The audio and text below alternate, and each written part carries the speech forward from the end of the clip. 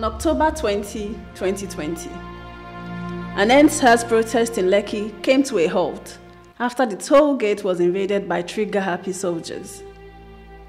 Till date, no one has claimed responsibility for the invasion.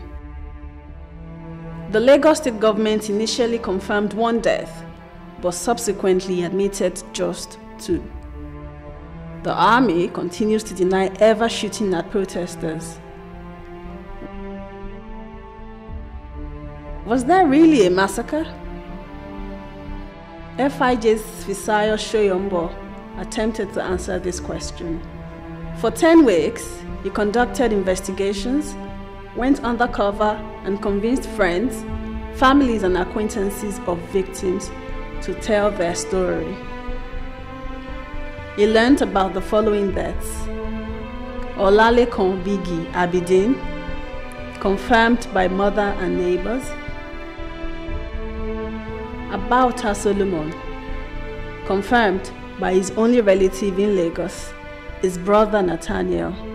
Uh, during protest at Lekki Toyet, yeah, go three of them. Okay.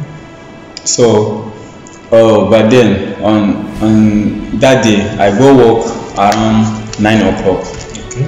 in the night. I can't walk, my body is weak. I came back. So from there, I sit down and tell my friend that my body is weak today. I don't know why. It is like 30, 30 minutes after.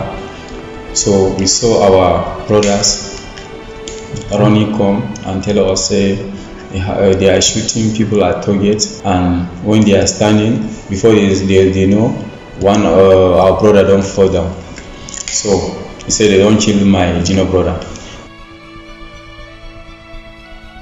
Ifeanyi, whose death was confirmed by his friend Akin Kolawole.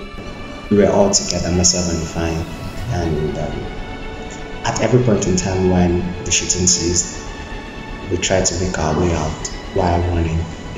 So we we ensured that we were not very far from each other.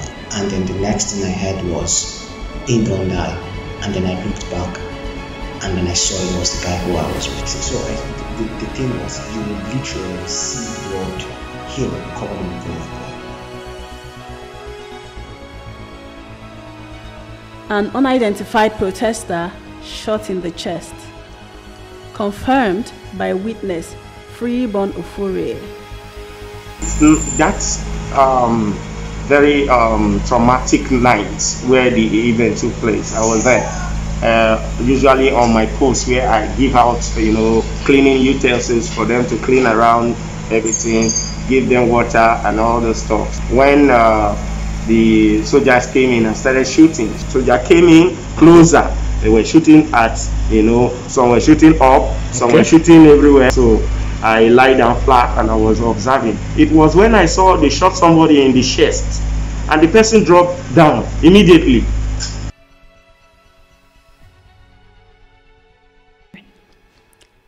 Protesters brought into Reddington dead. Anonymously confirmed to FIJ by a doctor at the hospital.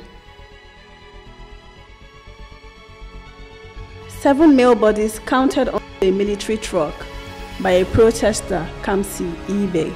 we are um, trying to get um, source for help for those who were injured. So I was running to meet my other comrade if they can sort for ambulance. When I saw, I counted seven bodies. John Doe, so named by a doctor at Reddington and confirmed by protesters. This one is dead. Yeah. So you can see. So A young male protester killed by the police, confirmed by protester Sam Issa. After the military men left, um, some policemen came in, like four of them. So there was a particular guy that um, they were able to get a hold of. So they were hitting him gun on his head. They were hitting him gun on his head. That particular guy didn't um, survive. Another male protester shot by the police. We were telling the policemen that um, you guys have killed this uh, young man. Come and have his body. If we're if we're your siblings, your brothers or your sisters, would you open fire on us like this? While we were saying that, we dropped the body. They were on the other side watching. So as soon as we turned back, as soon as we turned back to go back to where we we're coming from, the next thing we heard, we heard gunshots. That gunshot we heard, there was a guy that we were running together. As soon as we heard that gunshot, we were running together. The gunshot hits the guy on his head, and the guy dropped dead immediately.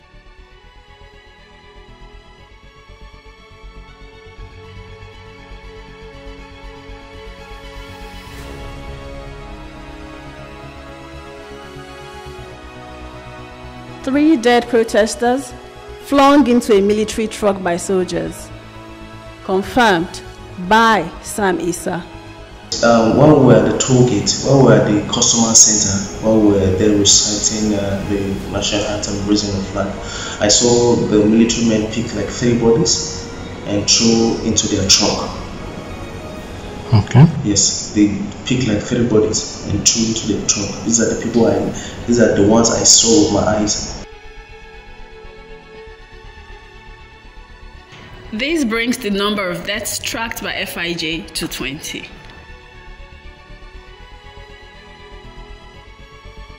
But from all indications, the overall casualty toll is significantly higher.